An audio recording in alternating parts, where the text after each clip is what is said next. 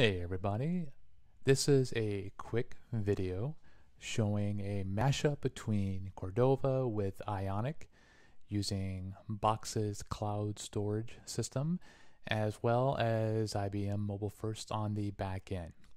So the application is fairly simple. I'm going to authenticate and then I'm going to select an existing picture on the device, in this case the, the um, uh, simulator and that could easily be a real picture as well if I was working on a real piece of hardware. Uh, but once I pick the picture, it will then upload to my Box account and you'll see it over here. And uh, that's pretty much it. So let's take a quick look at this. I'll go ahead and authenticate and type in my email address like so and do my password and I'll do this a bit off screen if you don't mind. Right, hopefully I typed that right.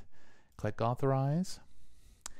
Uh, this is the application I created with um, Box's developer system.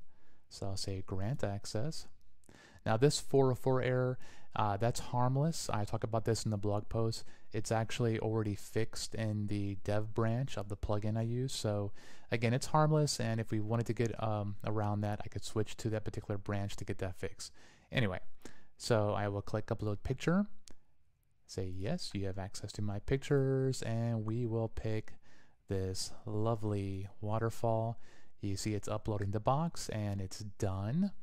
And if we go back over here, any second now, it should show up automatically. If I don't see it, I'll just reload it to kind of force it.